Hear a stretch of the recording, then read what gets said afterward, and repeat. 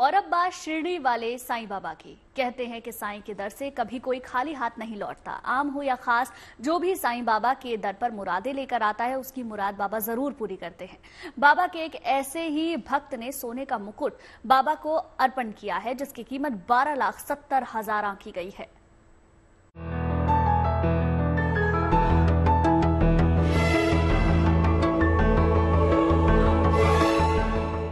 शिरडी वाले साईं बाबा की आस्था की हर कहानी अनूठी है। उनके भक्त अनूठे हैं। उनकी भक्ति भी अनूठी है। कोई सर्वधर्म भाव से यहाँ आता है तो कोई अटूट आस्था से सिर झुकाता है।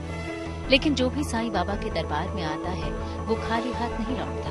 बाबा उसकी मुरादों को पूरा करते हैं और भक्त अपने प्रभु पर दोनों हाथों से धन दौलत न्यौछावर करते हैं। बाबा के कैसे ही भक्त ने अपनी आस्था और श्रद्धा कुछ इस तरह प्रकट की। बाबा के प्रति आभार जताने के लिए भक्त ने 110 ग्राम सोने का मुकुट साईं बाबा को अर्पण किया।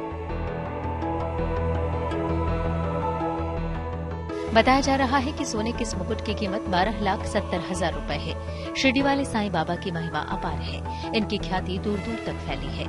यही वजह है कि देश विदेश से हर साल लाखों श्रद्धालु साईं के दर्शन के लिए आते हैं। अपनी आस्था और श्रद्धा के मुताबिक बाबा को चढ़ावा चढ़ाते हैं। साईं भी भक्तों की पुकार ज़रूर सुनते हैं। बदले में भक्त भी साईं के चरणों में चढ़ावे का अंबार लगाते हैं। यही वजह है कि यहाँ हर रोज लाखों करोड़ों का चढ़ावा आता है। Bureau Report, Good News Today.